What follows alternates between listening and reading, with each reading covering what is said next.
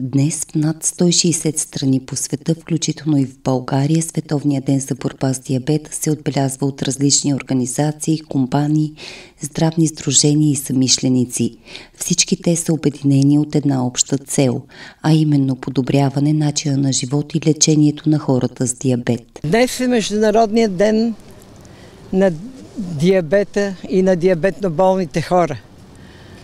Все пак ние заслужаваме уважение, независимо, че имаме тази коварна болест и сме наравно с всички други наши колеги по съдба.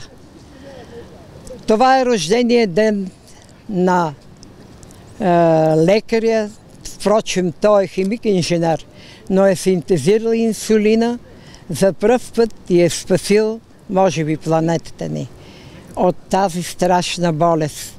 Това е доктор Бантинг,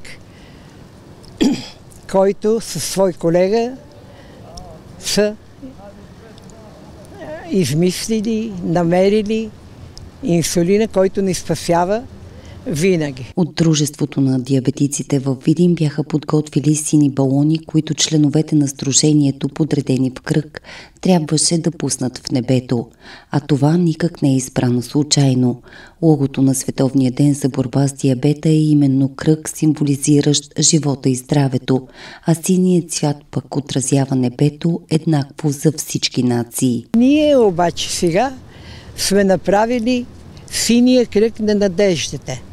Това е логото на нашата асоциация БАТ, Българска асоциация диабет, която единствено е призната от Международната, от Международната диабетна асоциация.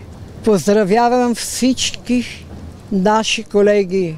Нека да сме живи още много години, кой до когато може и винаги да го отбелязваме. Това е един празник да се покаже, че и ние сме уважени хора от тези, които не са като нас.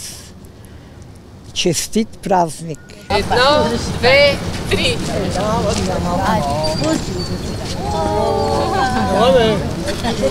Честит ден на диабетик!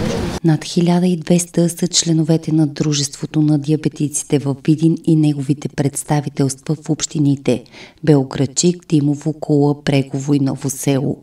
Повече за дейността на Сдружението ще ви разкажем в следващите новинарски емисии.